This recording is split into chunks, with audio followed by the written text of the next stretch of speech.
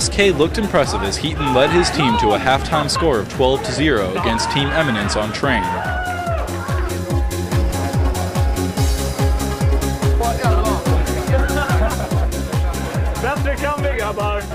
Eminence rebounded with a surprising 6 0 second half lead, but eventually lost the match 13 6.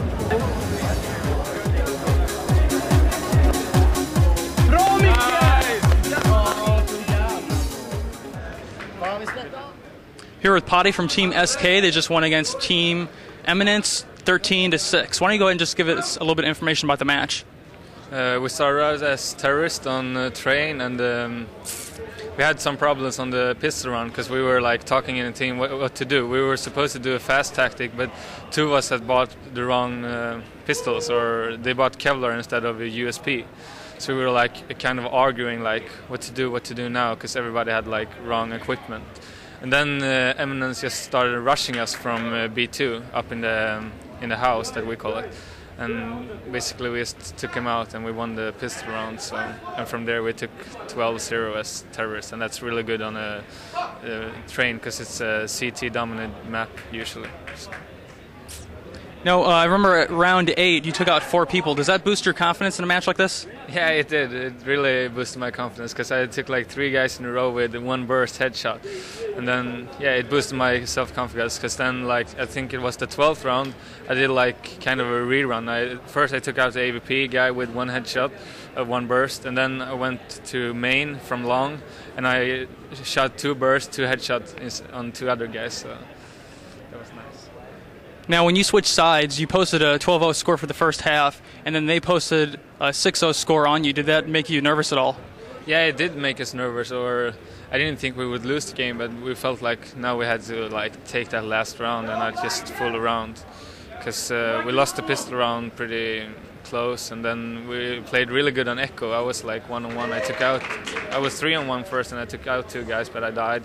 And then we took like three guys the other eco, so we did two good ecos. So we felt like, oh, now we have it. But then we lost the fourth round anyway, because I think Fisker team killed one on the eco rounds. He he had to make another eco, so.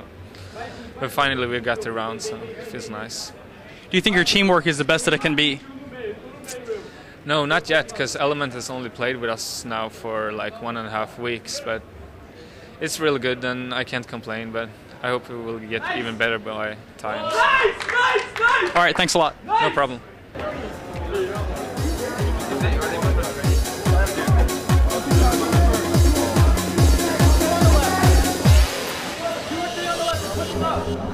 Hit him pretty good. I'm checking the right there. One more on that right side. Moto, along with the rest of his team, played a very strong CT side, posting an 8 4 lead against Team 4 Kings. They're beneath it, I think. Right there, ball. One's on the stairs. Left stairs. Left side, on that box. Nice.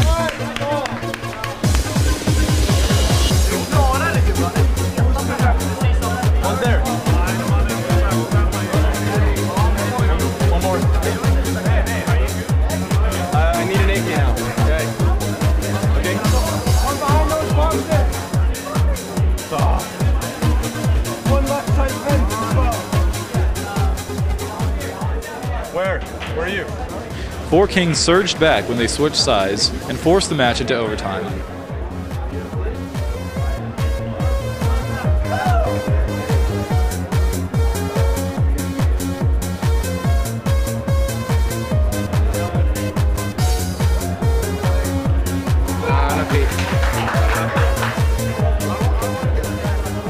After four Kings gained a 3 0 lead in overtime, 3D came back and tied it up, causing a second overtime.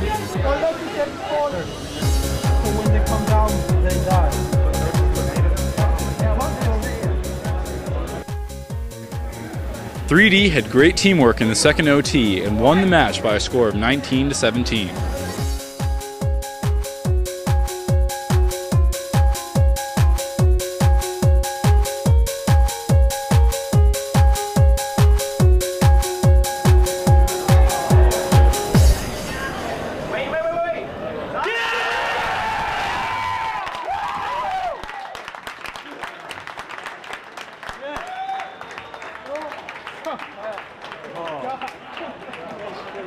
Show Us Your Skills is presented by Newegg.com. Here with Morgan from Team 3D that just won against Four Kings in double overtime. Why don't you go ahead and walk us through the end round that forced the second overtime? Uh, basically, they saved out the pistol round in order to force us to be low on money. So we, it was another pistol round second round. They had armor, we had armor.